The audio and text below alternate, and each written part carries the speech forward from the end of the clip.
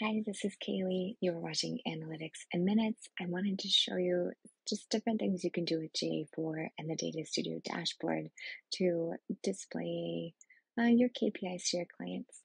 So here's a quick GA4 dashboard. Along the top, you can select your default um, channel.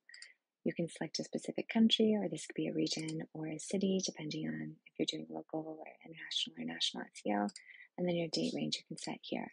Along the top, you have your major KPIs, new users, sessions, engagement rate. So the percent of users, the page was in the forefront of their browser window uh, for about 10 seconds or longer. And then conversions, the events we've set within GA4 as conversions.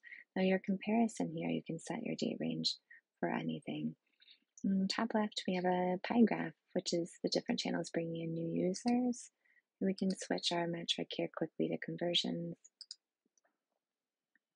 and back again. Here is our interactive map. You can click on the map and drill down to see where your new users are coming from. And we can also quickly change this from new users to conversions to see where the conversions are coming from.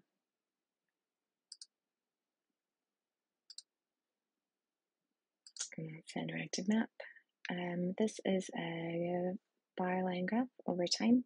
And you can set that to any metrics. I chose conversions and users because those are our major KPIs on this site. The bottom is a table. So this is uh, in the top right where you'll set your event name. Let's say you want to know how many files were downloaded or where file downloads are coming from. I select my event here, and here I can see which channel. So I'm most interested in organic search. I'm going to drill down, select a specific source that I'm interested in, and then I will be able to see how many file downloads happened through Google Organic. And here's the full URL, which I can click, and that will open up uh, in a new tab. Back to our sheet, we just click forward, and now we have um, our Search Console data. Again, you'll notice along the top we have our date range. You can drill down to the specific device category if you want to see how desktop or mobile is doing. Um, and then we have our major KPIs for Search Console along the top with our um, overall, our year, with our year back look um, for how impressions and clicks are changing. We can also change this to average position. Um, and then that's going to be all keywords in whichever country we have limit, uh, notated here.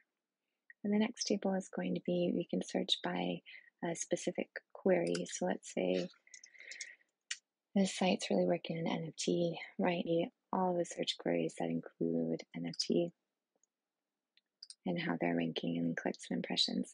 In the comparison date range, you can change to whatever you need.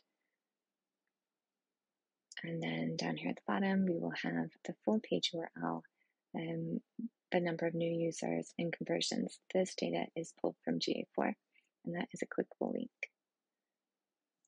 The one other one that I do is just really narrowing into a specific uh, topic that your content marketing team has been uh, working towards. So, those are just a few things you can do with Google Analytics 4 data in uh, Data Studio.